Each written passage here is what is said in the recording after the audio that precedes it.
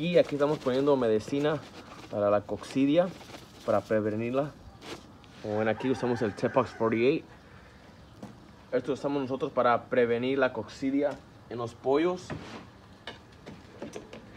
Para que no les pegue la coccidia, pues, ¿verdad?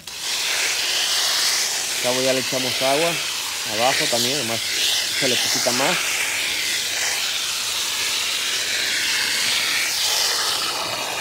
Dejamos que se aguade poquita la comida y ya luego se la damos en los pollos. Que quede bien aguadita. Y pues esto lo hemos hecho ya por varios años amigos para prevenir la coccidia en los animales. Esto lo damos por lo menos tres veces al mes o de una a tres veces al mes.